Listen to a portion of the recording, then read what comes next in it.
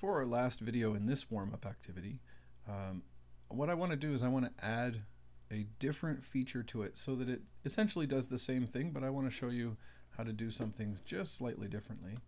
And in our baby blue sensing area, I want you to notice that the top two choices, we use the second choice first. We use touching color and then a color block. And this time I want to just trade in another touching. And in this case, if you click the black down arrow, that's a indicator that there's more choices hidden. You can choose the mouse pointer.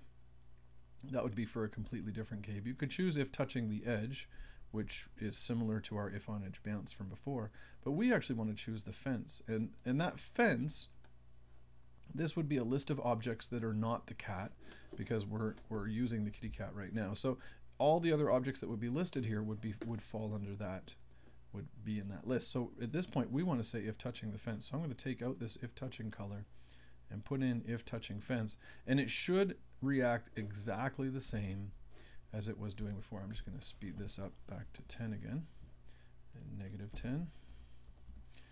And we'll increase that to, oh, let's say 82. All right, so let's have a look. Okay, so essentially the important thing that I wanted here was I wanted to make sure that touching color and touching fence would do exactly the same thing, and they do. Um, there are some glitches just in case you're ever using um, these costumes. So for instance, if I want to paint a new costume and I'm going to create something that looks like a big green blob, um, and then I will bucket fill that with more green. So I, I can change my kitty cat into pretty much anything.